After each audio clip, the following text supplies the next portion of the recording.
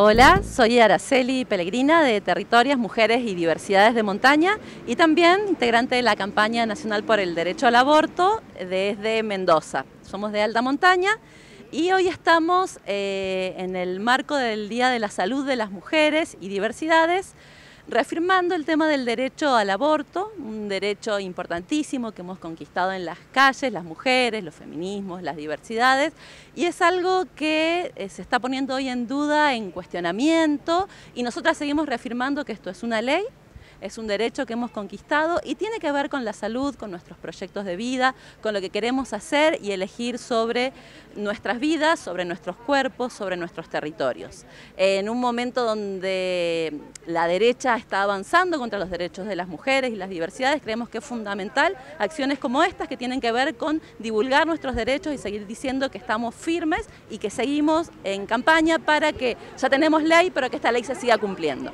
Hola, soy Claudia Anzorena, integrante de la campaña nacional por el derecho al aborto legal, seguro y gratuito y de la Malona, colectiva feminista de Mendoza.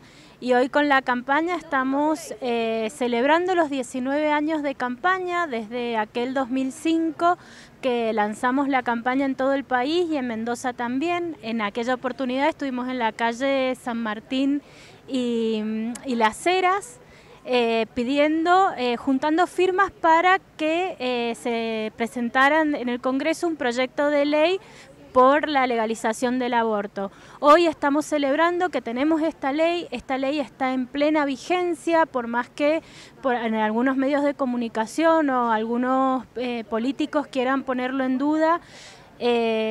mujer, niña, chica, quien necesite, quien esté atravesando un embarazo no deseado, tiene que saber que tiene derecho a abortar hasta las 14 semanas de gestación sin eh, por la sola voluntad, o sea, sin dar ningún motivo, ninguna razón. En los centros de salud eh, o los hospitales de todo el país, de los de, todo el sistema, se lo tienen que garantizar dentro de los 10 días que se solicita. Después de las 14 semanas se puede abortar por causales, por peligro de la salud o en casos de abuso o eh, violación. Eh, nosotras estamos acá, la idea es eh, traer información para, para que se sepa que está en plena vigencia y que pueden acceder a todos los centros de salud y hospitales y se lo deben garantizar. Eh, por voluntad, sin dar razones ni, ni excusas y nadie se los puede negar.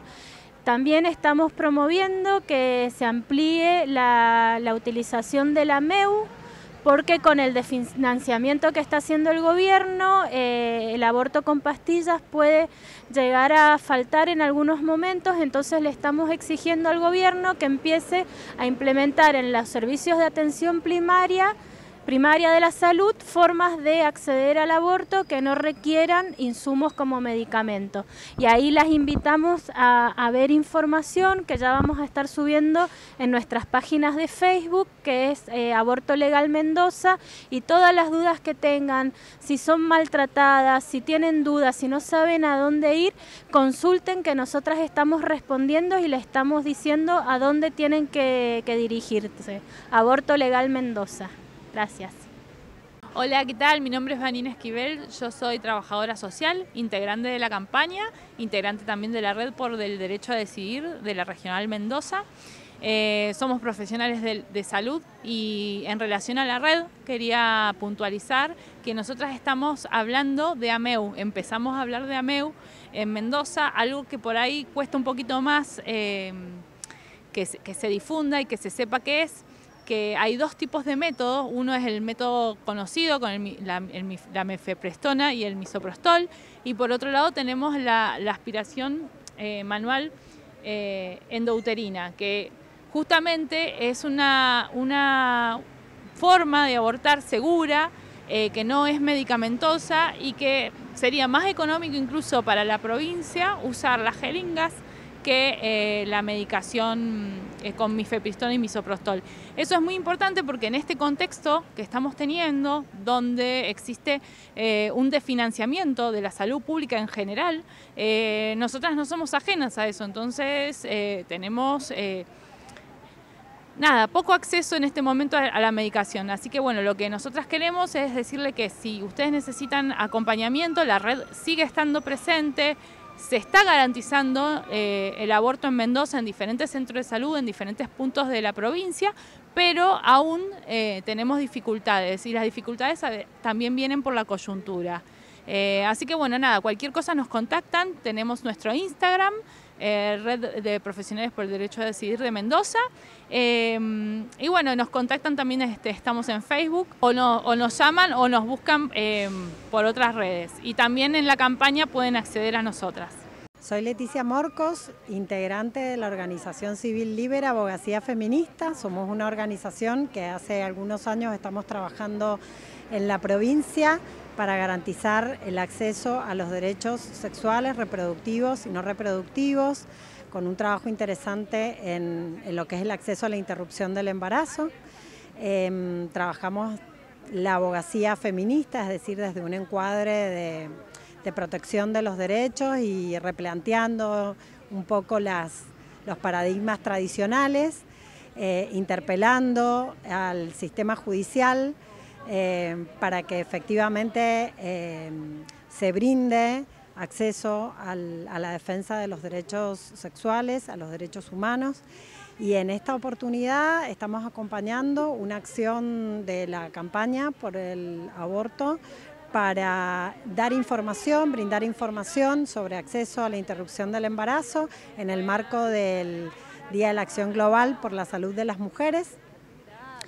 Eh, nos parece un, momento, una instancia, una oportunidad interesante para concientizar, sensibilizar a la sociedad y que conozca que eh, existe una ley, que es la 27610, eh, que nos permite desde diciembre del 2020 acceder a la interrupción voluntaria del embarazo hasta la semana 14 sin expresión de, ninguna causal en particular, solo por la voluntad de la persona gestante, ya sean mujeres o personas con otras identidades eh, sexuales. Cuando tenemos esas situaciones que son malas prácticas por parte de los profesionales de la salud, em, hay instancias de reclamo y de denuncia. Eh, en Libera Abogacía Feminista estamos todo el tiempo interviniendo en esas situaciones y acompañando a las usuarias de salud que tienen estas dificultades frente a un sistema que eh, aún no articula lo necesario y dispone lo necesario para para garantizar el acceso a esta práctica de salud, que no es más que una práctica de salud. Entonces, existen dispositivos, nosotras eh, desde Libera Abogacía Feminista acompañamos estas, estas situaciones eh, a través de distintas presentaciones frente a eh, los este, establecimientos de salud que no están brindando la práctica y llevamos estas inquietudes para que se garantice en definitiva en el más breve plazo posible el acceso a la, interrupción.